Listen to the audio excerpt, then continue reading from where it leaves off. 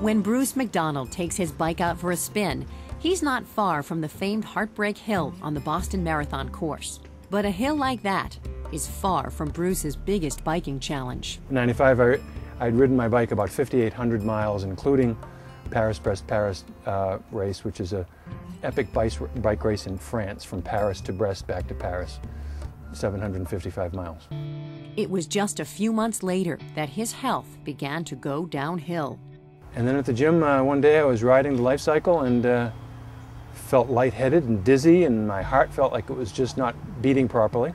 Like 2.2 million Americans, Bruce had atrial fibrillation, or AF, an abnormal heart rhythm that can strike at any time. For some, symptoms include shortness of breath, fatigue, and the inability to live life to the fullest. Even going for a ride with the kids, I'd worry that I'd go out of rhythm when we'd be out there and have trouble getting back. The other problem was I was tired constantly. A game of catch would be too strenuous. Like a 90, I was a 90 year old man, you know, living in a body that was in good shape. Very frustrating. Even more frustrating to Bruce was the fact that he required higher and higher doses of the medications he took to control his heartbeat, eventually reaching the point where they were no longer effective. That put Bruce at even greater risk. The big risk for uh, atrial fibrillation is stroke. You can tell that some people are going to be more prone to having strokes than others, but you can't predict. And that's the danger of atrial fibrillation. I had a stroke drove off Route 495 into the woods. My car was smashed up pretty bad. Fortunately, I wasn't hurt. A highway sign went through my windshield, and if there had been anybody been riding with me, they wouldn't have survived. Hoping to put the brakes on another stroke, Bruce was considering open heart surgery when he learned of another option available at Beth Israel Deaconess Medical Center, the minimally invasive maze procedure.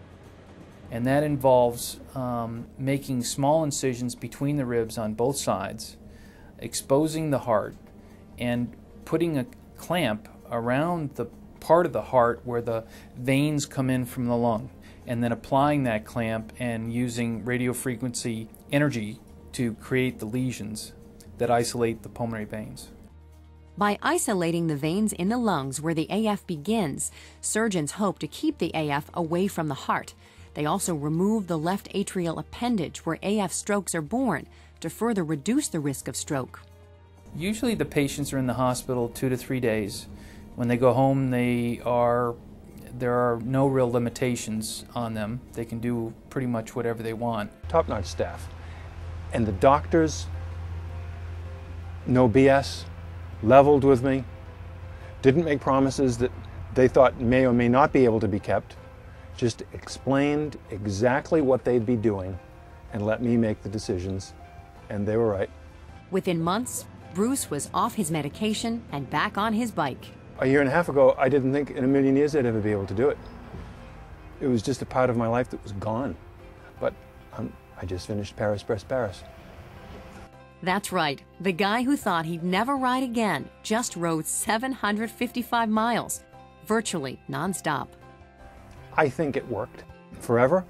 What's forever? But I'm 58 years old and I just did PBP. I'm pretty happy with that.